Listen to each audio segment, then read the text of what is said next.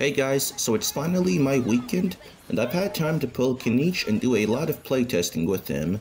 There are some things that I'm sure you are wondering about Kinich, such as how necessary Emilie actually is, and how he does with Furina instead.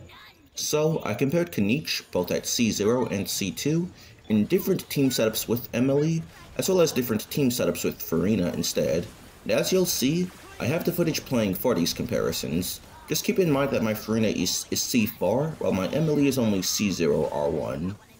The current Abyss is not a good testing environment due to both bosses on top half having massive dendro resistance, so instead I did single target tests against the overworld Aeon Blight Drake, as it has about 1.2 million HP, then I did AoE multi-wave tests in that Inazuma domain that has a bunch of Rift Wolves. And then I did still do a test in the current Abyss, but only with C2 Kinich with just one team for Emilie and one for Furina. But keep in mind the dendro resistance puts the Emily team at even farther of a dis disadvantage. Before I show you that, there are just a couple of things from my pre-release analysis that I want to follow up on. Firstly, in my weapon calcs, I had underestimated Kinich's signature weapon. I was averaging its stacks at 4 instead of the full 6, but the weapon stacks so fast that it's pretty much always going to be at full stacks, especially in an Emilie team, since it can stack from our field. With the weapons, I also completely forgot that Beacon, Dehya's weapon, exists. I've added it to my calcs now, assuming you get both stacks for the full 40% attack buff, it's Kinich's third best weapon behind an R5 Serpent Spine. But that's assuming you maintain full stacks on Serpent Spine, which is easy to do if you are using Thoma, but if you aren't, you're going to have a low stacks due to not only getting hit by enemies, but also from the self-burning damage whenever that happens. So if you aren't using Thoma, Beacon will be Kinich's second best weapon, but it is still a huge 19% behind his signature, so Kinich's weapon is definitely worth picking up if you have to spare Primogems. Personally, I'm not pulling his weapon, because I only have about 350 Intertwined Fates left, I want to save back up. Now another thing I want to follow up on is the source of our filled pyro application. In my previous video, I said that there really isn't any reason to use Xiangling over Thoma unless you're using Furina. and I stand by that. In fact, I now think she's not worth using over Thoma even with Furina. Xiangling just does not do very meaningful damage with Kinich, since she needs to use deep words, plus you have to use her after Bennett, so she's either going to prevent you from using Emilie's burst with Bennett buff, or lower your Bennett uptime on Kinich. But on top of that, she's revolving around Kinich and not the enemy, and since Kinich is sliding around so much, Xiangling can end up just missing a lot of her hits with him. So overall you get extremely similar, if not better, damage with Thoma, while also having a very strong shield, so I really just can't justify using Xiangling for any reason. And on that note, I know some people were wondering about Dehya instead of Thoma, but there's just straight up no reason to do this whatsoever. Toma provides all the benefits you would use Dehya for, but better. Her interruption resistance buff only lasts like 8 seconds, her damage reduction it doesn't actually stop you from taking damage, which is very important if you are using Serpent Spine. Dehya's Pyro application is also tied to enemies being inside her circle, whereas Thoma doesn't have any problem like that.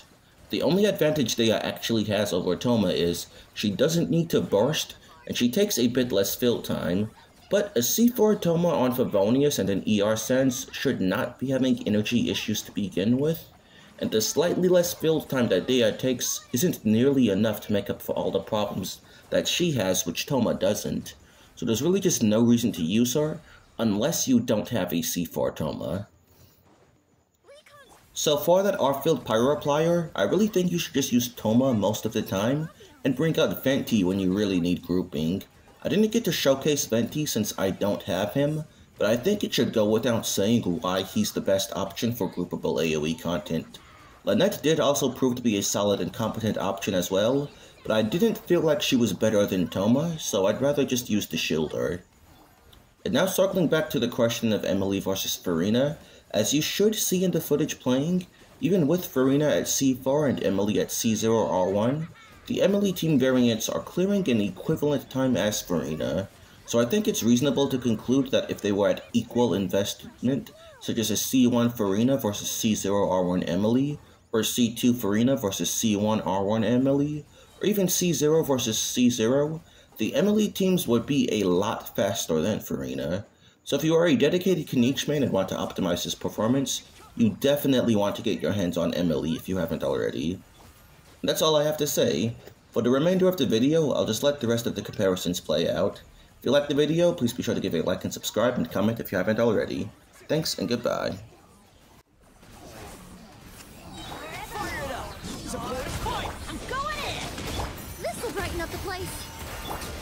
Target. Bow before your king! The glory to its none there! Especially not when I'm in a bad mood. Me, Don't get too close. I got you covered. Everybody stand back! Russian floral! Locked on.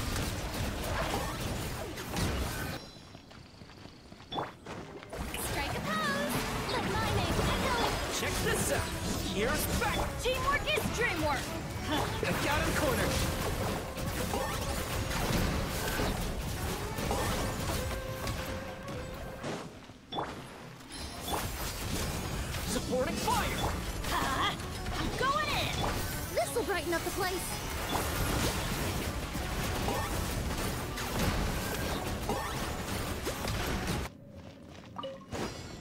Let's get down to I got you covered. Fire it up. Teamwork is strength! This will brighten up the place. War. Oh, glory! Deadwood Blaze!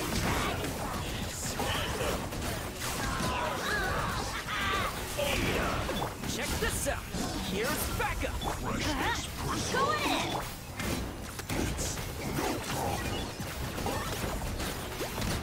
Our cause is as unyielding. Let's light it up! Fire it up. Here's backup. Teamwork is strength! This will brighten up the place. Locked on. Claim these souls. Submit your soul in!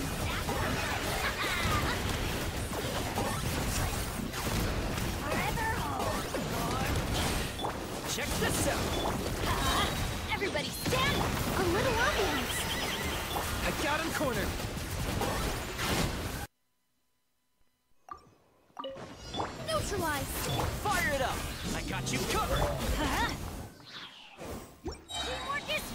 Got him cornered. For the Lord of the Night. Oh, you're done! you're so done! Check this out. Here's backup. Let's light it up! Everybody, and floral!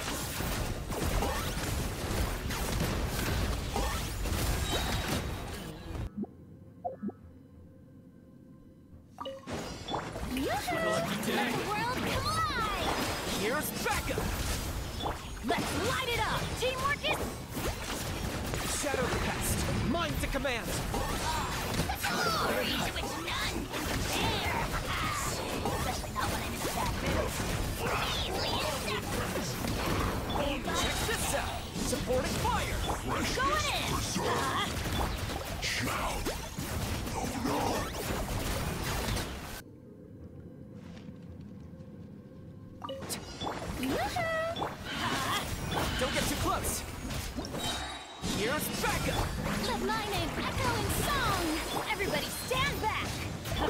Oh, glory! Your soul in sacrifice!